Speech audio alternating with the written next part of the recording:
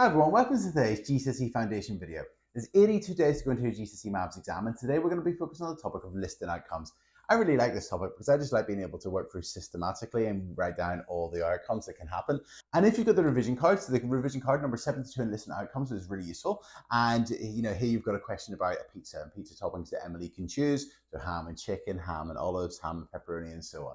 So it, listen outcomes, I'm going to go through uh, some questions on listen outcomes. Feel free to remember to pause the video and to give the questions a try yourself as well. And at the end of the video, I'll talk about the practice questions and where you can find those. Okay, let's get started. Okay, so today we're going to look at list and outcomes. So in today's video, I'm going to go through four list and outcomes questions. Feel free to pause each question at the beginning of it and to try the question yourself if you want to, if you feel pretty confident with list and outcomes. Alternatively, you watch me go through it and then try the practice questions. So here we've got a question that says Molly chooses a starter and a main. And we've been asked to list all the possible combinations. So there's three possible starters, soup, dough balls or kebab. And then for main, we've got a curry, pizza and stir fry. I'm just thinking it's interesting combinations.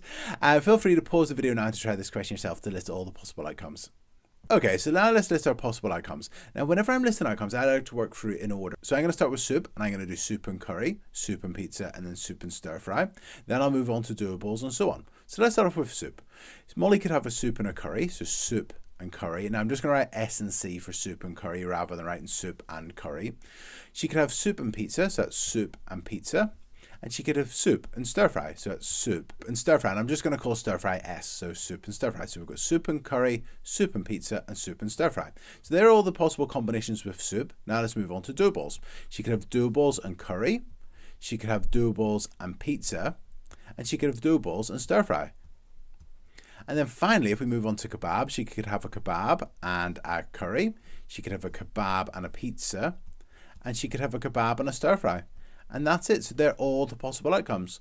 And that's it. Now, in this question, I could have written them out in full soup and curry, soup and pizza, soup and stir fry, and so on. But I've just used the letters to help me do it a bit more quickly. And that's it.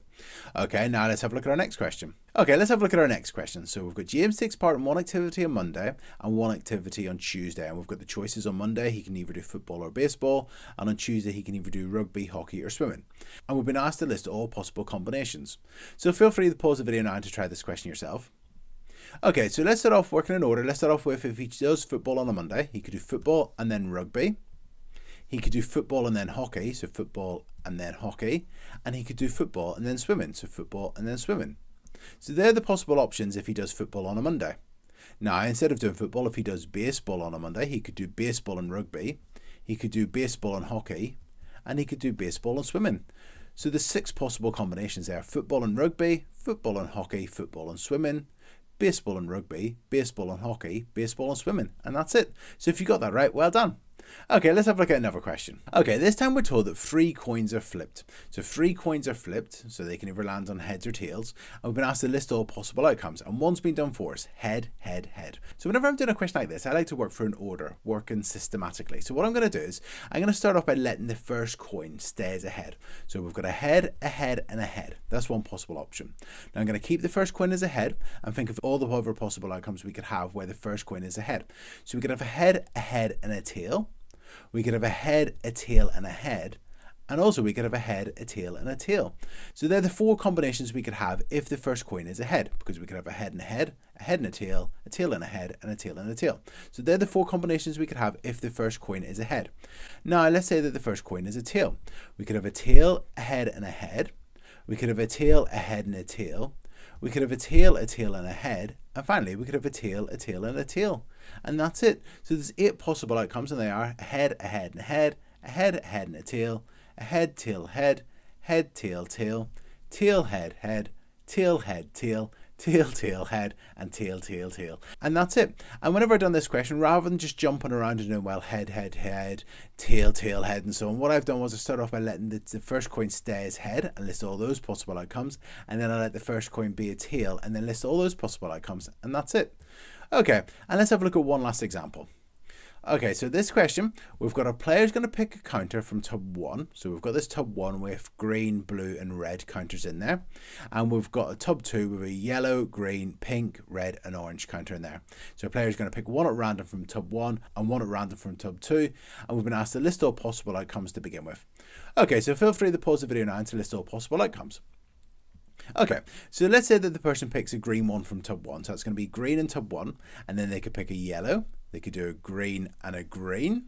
They could do a green and a pink, a green and a red, and a green and an orange, a green and a red, and a green and an orange. So they're the possible outcomes if a green one's chosen from tub one. Now let's say that a blue one's chosen from tub one. So it's a blue and a yellow, a blue and a green, a blue and a pink, a blue and a red, and a blue and an orange. So they're all the possible options if we have a blue as the first counter.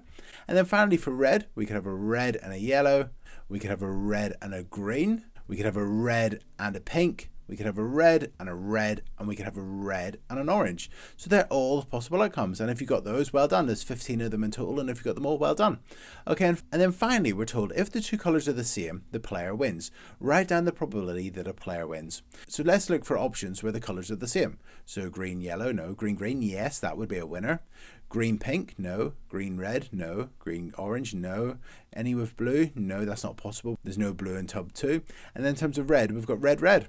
So there's two possible outcomes where the colours are the same. There could be a green and a green, or a red and a red.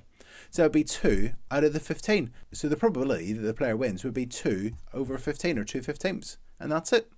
Okay, and that's it. So in this video, I've gone through listing outcomes and how the importance of working through systematically, not just to randomly pick outcomes, to go through and work in a particular order to list all the possible outcomes. And in this video, I've gone through listing outcomes. It, the practice questions are in the description below. It's, it's quite an important topic to be able to practice those questions because, again, it's hard to predict the context in which the listing outcomes will be. in. it might be coins being flipped, it might be dice being rolled, it might be pizza toppings or ice cream toppings. You know, it's hard to predict the actual context. But by doing lots of practice questions, that makes sure that you're really confident in this topic. And it's a topic which I think that you know you should be able to try and get full marks in a topic, like this, listing outcomes. It's, it's quite a nice topic. Okay, but I hope you found this video useful. If you have found it useful, please like and please subscribe to the YouTube channel. Remember, 3 o'clock tomorrow will be 81 days to go into your GCSE Maths exams. Cheers, bye.